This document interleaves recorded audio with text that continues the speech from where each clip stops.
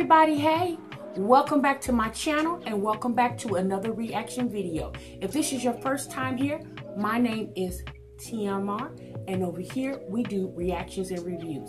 If you have not yet became a part of the TMR family, sis, I'm gonna need you to hit the subscribe button and make sure you also click that notification bell so every time your girl drop a new video, you will be the first one to know it.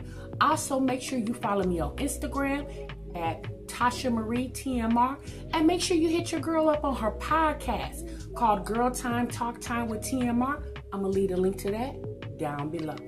All right, you guys. So without further ado, let's get on to this video. Sis, so what we getting ready to do right now, sis, we about to take a trip. And you might say, TMR, where we going? Well, child, we going to Hood Boogerville, US of A. Yes, we're down there. Women are going stone cold wild. We have a man, a baby daddy, a baby father, who was doing his fatherly duty and taking his baby girl to go get her hair braided, and the baby mama didn't like it. My baby sitting up out there being crying. I don't care. I told you stop playing That with me. motherfucker cut my baby hair out of here. So then, Look at that now shit. That shit sad. Hurt Now my wait. baby feeling. What? Now wait. Cause you don't hurt the dad, I you hurt her. I do my hurt my own baby girl feelings. My I do baby my sat there for two hours. I do my own girl hair. My baby sat there for two Stop hours. playing with me.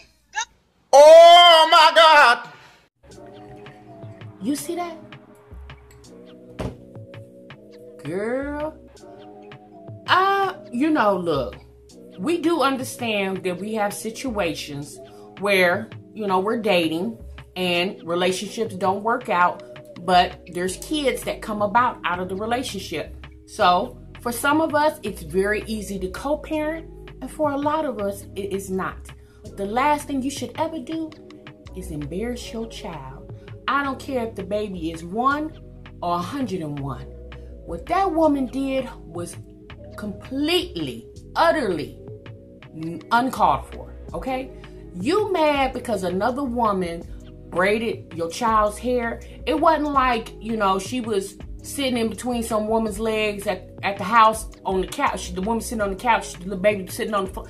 Yeah, she went to a braid shop, okay? Because on Facebook, yeah, I got that clip off of Facebook. And on Facebook, there was some conversations going back with the father of the child and the baby mother. Okay, so the baby mother, you could just tell by her language that she was real hood booger ish. Okay, and she basically said she didn't like the fact that some other woman had her hands in her daughter's hair. She said she can braid hair herself. Well, obviously, it was one or two things. Now, the dad went and picked the baby up from school early you know, probably doing a father daughter day type thing. Little girl was just as cute as she want to be. And he said, Well, let me go get my baby girl's hair braided. Maybe her hair wasn't combed, or maybe it was combed and he just feel like, Well, let me go on and spend some money on my baby and make her feel real pretty because she did look extremely pretty. And him bringing her back, the mama not liking it,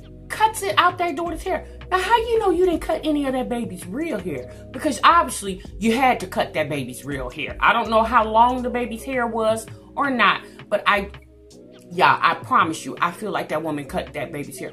You know what? That's why y'all, when you get into these relationships with these men and these women, you know, y'all really need to realize who you uh making children with. They might seem like the sweetest thing since sliced pie in the beginning of the relationship, or at the end of the relationship, boo might coming out like she misery. Okay?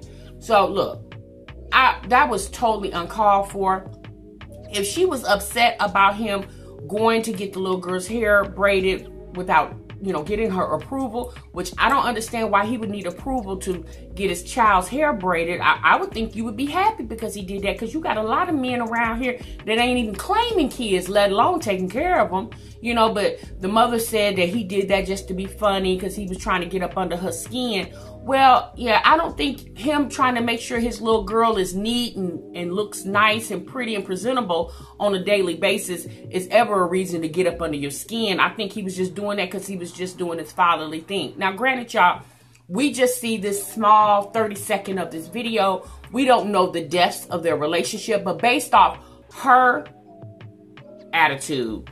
And listening to the dad respond to her um, just sounds like they, they, they're real confrontational with each other.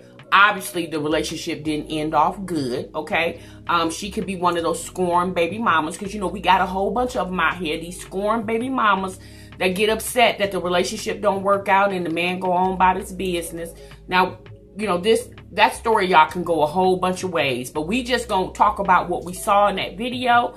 And based off what I saw in that video, that woman was stone cold out of her mind for cutting that baby's hair like that. And why the baby kept crying. Like it didn't even like sis, it didn't even dawn to you that your baby is crying. You literally sitting here cutting all her hair out of her head.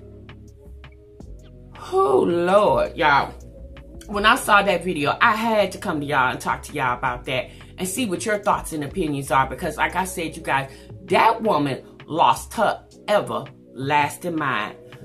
I'm gonna need y'all to let me know how y'all felt about that down in the description box because we can get the conversation popping off down there. And I will see y'all in the next video. Remember, sub what you love. Bye